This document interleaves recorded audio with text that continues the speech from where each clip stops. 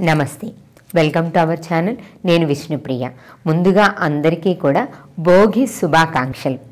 ధనుర్మాసంలో వచ్చే పండగల్లో అతిపెద్ద పండుగ సంక్రాంతి పండుగ. మిగతా పండుగలన్నిటినీ కూడా మనం ఒక్కరోజు మాత్రమే చేసుకుంటాం. కానీ సంక్రాంతి విషయానికి ఒక ప్రత్యేకత ఉంటుంది. సంక్రాంతి పండుగని మూడు రోజుల పండుగగా జరుపుకుంటాం. అతి పెద్ద పండుగ అని కూడా చెప్తాం.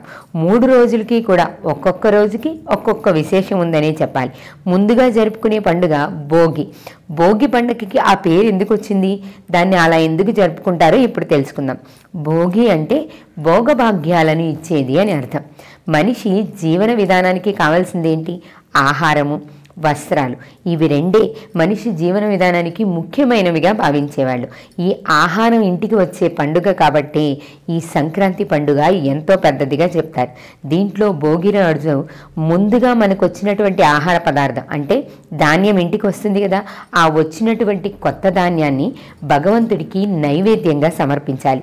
అలా నైవేద్యంగా సమర్పించడం కోసమని ముందుగా పాల కుండలు తీసుకొచ్చి కొత్త కుండలో అప్పుడే వచ్చినటువంటి ధాన్యాన్ని పంట నుంచి వచ్చినటువంటి తొలి ధాన్యాన్ని తీసి పొంగళ్ళు చేసి ఆ భగవంతుడికి సమర్పిస్తారు.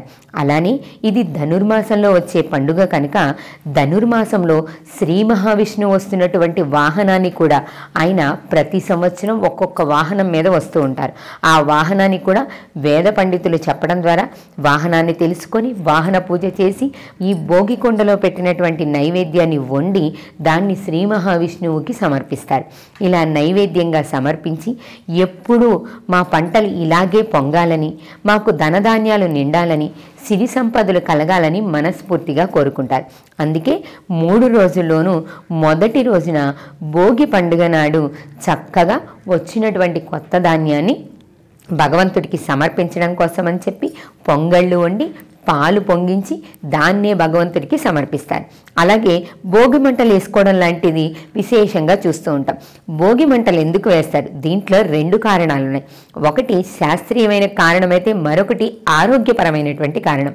శాస్త్రీయపరమైన కారణం ఏంటి అంటే మన దగ్గర ఉన్నటువంటి పాత వస్తువులన్నింటినీ కూడా తీసి ఈ భోగి మంటల్లో వేసేసి గడిచిపోయిన గత కాలంలో ఉన్న చేదు జ్ఞాపకాలన్నింటినీ కూడా ఆ మంటలతో పాటే మనం పంపించేసి కొత్తగా కొత్త ఉత్సాహం ఉత్సాహంతో నూతనంగా జీవితాన్ని ప్రారంభించాలి అనే సంకేతం ఒకటి ఉంది ఇక ఆరోగ్యపరమైన కారణం ఏంటి అంటే సహజంగా అందరికీ తెలిసిందే సంక్రాంతి పండుగ ఎప్పుడూ కూడా చలికాలంలో వస్తుంది. ఈ చలికాలంలో అనేక రుగ్మతల నుంచి బయటపడడం కోసం అని చెప్పి ఈ భోగి మంటల ద్వారా ఈ చలిని దూరం చేసే ప్రయత్నం చేస్తారు.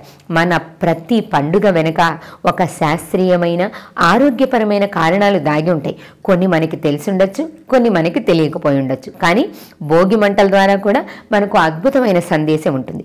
ఇక భోగి రోజు అత్యంత ఇష్టంగా చేసేది ఏంటి పిల్లలకి భోగి పళ్ళు పోయడం.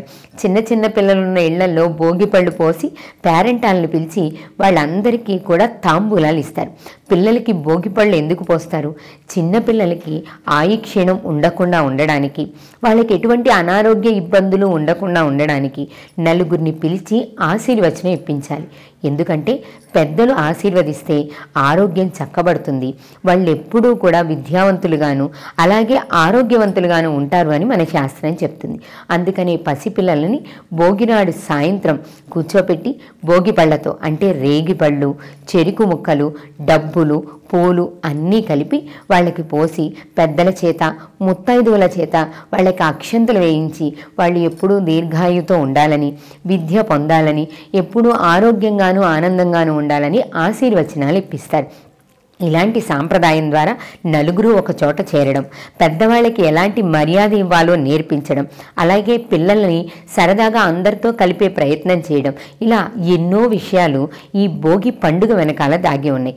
ఉదయం పెట్టే భోగి కుండ నుంచి సాయంత్రం పిల్లలకి పోసే భోగి పళ్ళ వరకు ప్రతి విషయంలోనూ కూడా మన అందరినీ కలిపి ఏకం చేయడానికి మనలో ఉన్నటువంటి చిన్న చిన్న లోపాలని సరి చేయడానికి అందరి మనస్తత్వాలు దగ్గరగా ఉండేలా చేయడానికి ఆరోగ్యపరంగాను ఐశ్వర్యపరంగాను కూడా కుటుంబ అభివృద్ధి అనేది ఈ పండగ వెనకాల తాగి ఉంది. ఇక తర్వాత వచ్చే సంక్రాంతి ఆ పైన వచ్చే కనుమ గురించి తర్వాత రోజు తెలుసుకుందాం.